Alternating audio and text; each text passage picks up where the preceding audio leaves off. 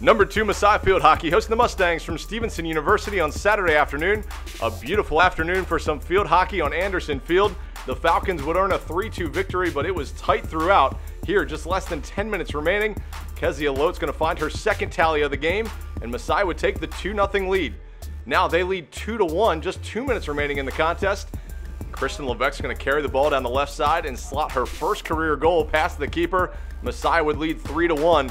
A late goal by the Mustangs with just seconds left on the clock would give the Falcons the 3 2 victory.